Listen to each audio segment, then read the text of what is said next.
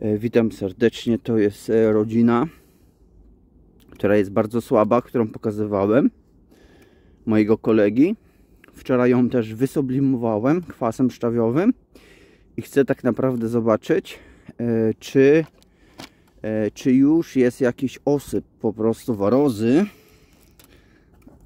Oho, jest przyklinowane. No, jeszcze się posypało już kilka sztuk.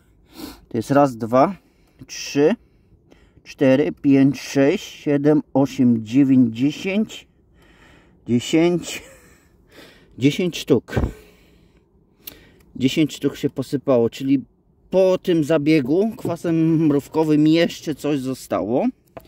Zobaczymy po tygodniu co będzie.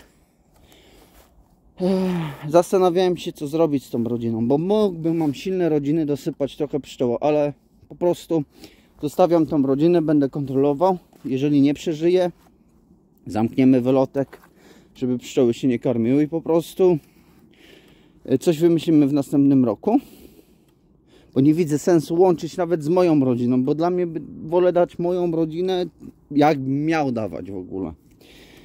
Eee, niż e, po prostu ratować, jeżeli tam jest jakaś choroba, nie, nie chcę skazywać po prostu tych pszczół zdrowych na to, żeby poległy z tą rodziną, nie?